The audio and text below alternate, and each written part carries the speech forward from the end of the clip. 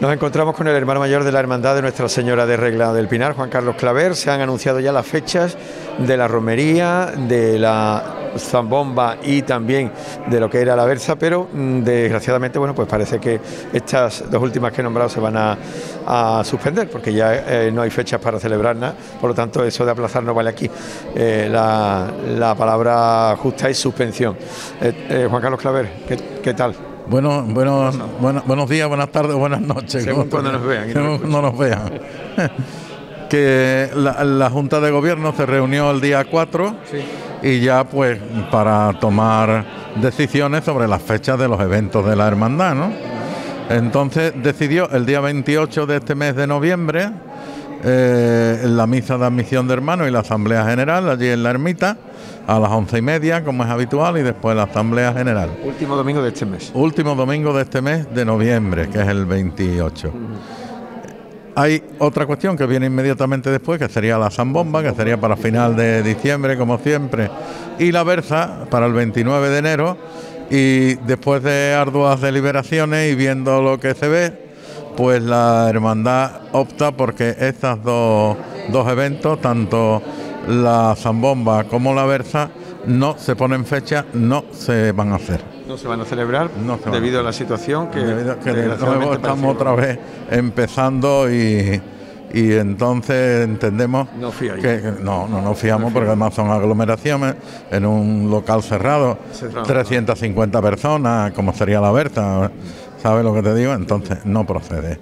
Y eso dice, bueno, ¿y si la semana antes? No, esto no se puede hacer la semana antes. Hay que prepararlo. hay que contratar artistas, hay que. En fin. Pues local, local, eso no se puede hacer una semana antes. Entonces, desde este momento, que ya es el momento de organizar, se dice no. ni son bombas, ni versa.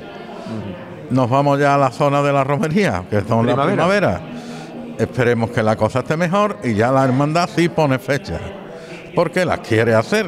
Sí, se pueden hacer, claro. Su pregón y su... Exacto. El día 7 de mayo sería el pregón de la romería, que es sábado, a las 10 de la noche en la ermita.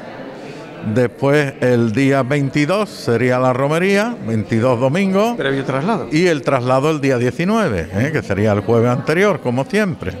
Y la palmicha para el 28 de septiembre, que sería el último domingo del mes de septiembre.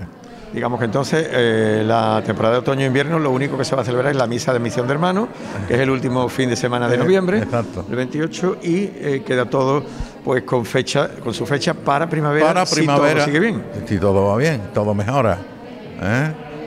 Y, y las autoridades sanitarias pues dicen, háganse, ¿no? Porque las hermandades del Rocío y demás, pues también habrán puesto su, tienen su, su, fecha y su tema, pero también dependiendo de, supongo. Sí, las procesiones han estado en la calle también, en muchos casos, el Cristo también lo hemos visto. Efectivamente, toda esa serie de cosas. Pero claro, también vemos la televisión ya todos los días. ¿eh? Y, indudablemente, Europa va a que se las pela, nosotros vamos para arriba otra vez, y ahí cerquita en Huelva tenemos cosas, y en fin. No es fiable. No, es fiable. ¿eh? Bueno, pues nos quedamos con la esperanza, aunque perdemos estos dos actos que eh, tanto gustan en Chipiona, como el saberse tradicional de la hermandad y, como no, esa zambomba en un sitio tan maravilloso y en ese enclave del Pinar, allí en la Casa de Hermandad. Pero bueno, mejor prevenir que curar. Mejor prevenir que curar porque las cosas, ya te digo, no las vemos claras. ¿eh? La primavera la vemos con un poquito más de optimismo. La primavera, yo creo, hombre, si la primavera ya no llegamos bien, precisamente haciendo todas estas cosas, para que en la primavera lleguemos bien a, poder celebrar la, romería sin, sin impedimentos ni nada de esto. ¿eh? Pues muy bien. Y la palmicha. Muchas gracias, Tocayo, y nada, que vaya todo bien. Muy bien, a ustedes, gracias.